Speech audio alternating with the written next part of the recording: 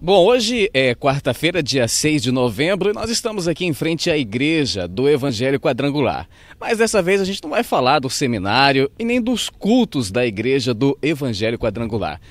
Você já ouviu falar em bazar, mas o bazar quadrangular acredito que é a primeira vez. E nós viemos saber como é, como vai funcionar e quando vai ser a estreia. Para mais informações, vamos conversar com um casal simpático e conhecido da sociedade conizense, pastor Gilvan Menezes e a pastora Ivonete Menezes. Então, boa tarde, Elismar, boa tarde, pessoal que estão nos assistindo em casa. É com muita alegria que a Igreja Quadrangular vem trazendo mais essa inovação para dentro da cidade. Nós, nós já lançamos aqui outras coisas que foram novidade dentro da cidade. E o bazar é também uma novidade dentro da cidade, haja vez que nós não vimos ainda igreja fazer. Pensando em que o bazar? Está chegando o Natal, muitas famílias, a gente sabe que muitas vezes não tem condição de ir numa loja comprar muda de roupa ou algum eletrodoméstico para casa, para toda a família. E a igreja, pensando em uma maneira de ajudar uma entidade de ajudar a própria igreja na área social e ajudar as famílias mais carentes dentro do município, foi então quando a, a pastora, junto com o grupo de missionários de mulher, junto comigo, nós achamos então a ideia de fazer o bazar. E a ideia foi. A, caiu na graça de todo o povo. Né? Agora nós queremos uma resposta da sociedade. Porque o bazar, nós não vamos dar a roupa de graça. Lógico que a gente ganhou de graça. Mas porque a gente quer levantar fundos tanto para a igreja como para uma entidade é, não religiosa. E ah, vai ter toda variedade de preço. Vai ter peça de roupa de um real, de 50 centavos. E, e, e o engraçado que não é só roupas usadas em perfeito estado. E sapatos também, como vocês poderam ver nas imagens. Tem roupa de marcas com etiqueta de preço, com tudo, nós podemos mostrar. E, e, sapatos novos também, sapatos que rasteirinha a, a cinco reais, sapatos novos a dez reais. Então é uma infinidade de preços.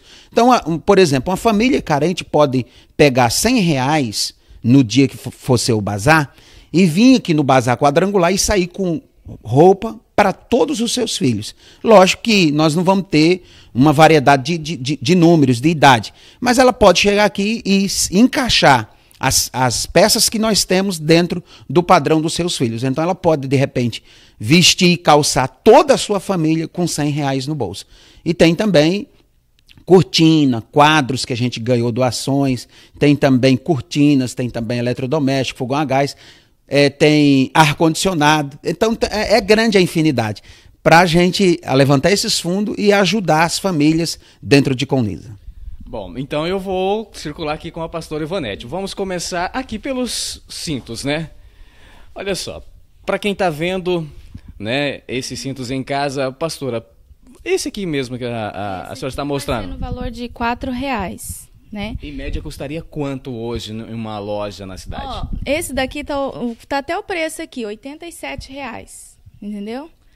Esse aqui também, deixa eu ver aqui se tem o um preço. 110 reais. Então vai, vai ser por... por 4 reais. Aí colares, vai ter brincos, né? Tá chegando mais coisa, mas vai ser no valor de um reais, dois reais. Só os cintos que vai ser valor de quatro reais.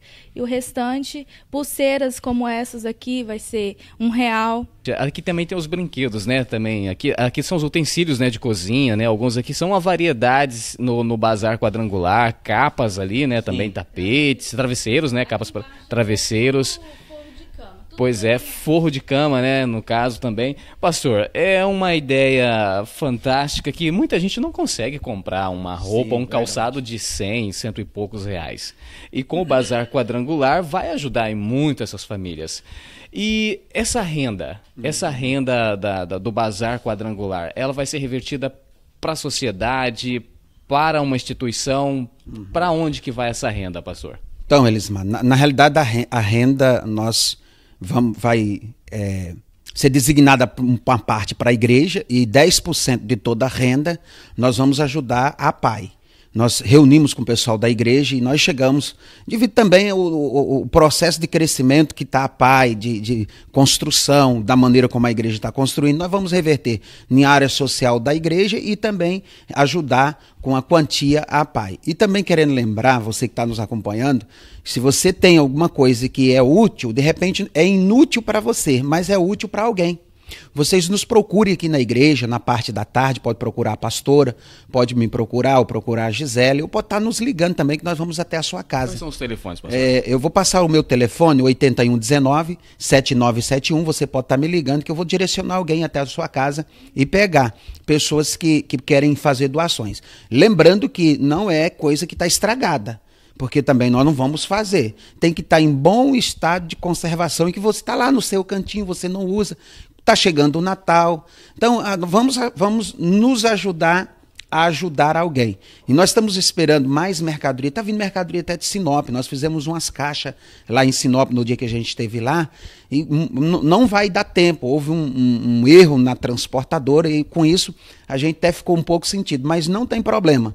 Se não chegar a tempo, nós vamos fazer uma doação de todas aquelas caixas que está vindo de Sinop, mas vai chegar na mão de quem precisa. Então, se você quer nos ajudar, você pode estar tá ligando 8119 7971. Elismar, também o endereço do bazar vai ser aqui na igreja mesmo. Já funciona a partir de hoje já? Não, não, vai estar tá funcionando no dia 16 na parte da manhã. Então é bom você vir cedo, é bom você se preparar e vir cedo. Não tem fiado, não tem cheque pré-datado, é à vista tá?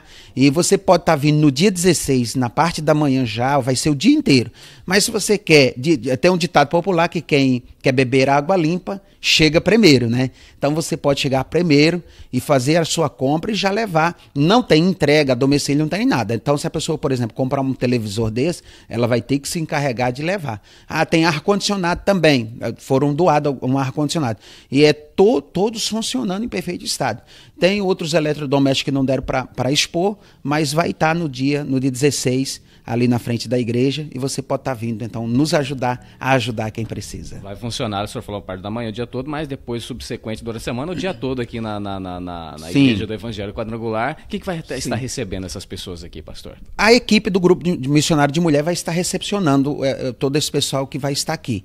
Vai ter, vai ter outras coisas para vender também, mas o, o interessante, Elismar, é a pessoa entender que se não deu para comprar no dia, ela pode vir, esse, lógico que se sobrar, né? Porque se sobrar, a gente vai continuar no meio da semana expondo.